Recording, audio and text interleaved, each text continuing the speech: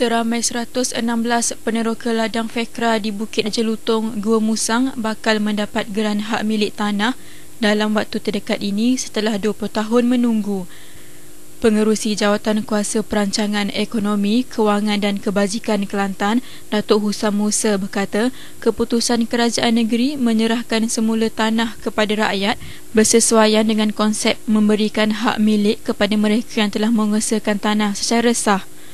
Jadi saya sangat berpuas hatilah hari ini kerajaan dapat meluluskan uh, senarai peserta ni.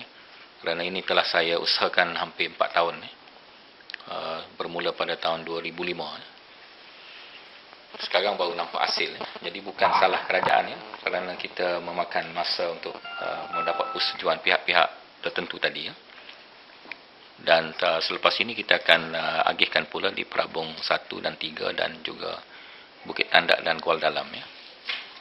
Jadi ini satu daripada usaha kerajaan negeri meng, uh, mengerundingkan uh, pemberian milik kepada penduduk-penduduk dan menyelesaikan persoalan ataupun permasalahan dengan setengah agensi yang ditugaskan memajukan kawasan-kawasan tersebut. Ladang berkenaan yang asal diterokai penduduk telah diserahkan kepada kerajaan negeri kerana FEKRA gagal memajukannya. Sebahagian ladang itu diusahakan dengan tanaman kelapa sawit dan getah manakala sebahagian lagi telah dimusnahkan hidupan liar. Menurutnya, Adun Manik Urai Allahyarham Ismail Yaakob antara orang yang berusaha kuat menyelesaikan masalah hak milik tanah peneroka ini. Jadi senarai ataupun proses pemutihan ini, uh, senarai-senarai peneroka ini telah dibuat oleh Allahyarham yang berhormat uh, Pak Sungai pasal itu. Ya. Sungai antara pihak yang bertungkus lumus. Ya. Berulang, berulang alik ke pejabat saya untuk menyelesaikan isu ini.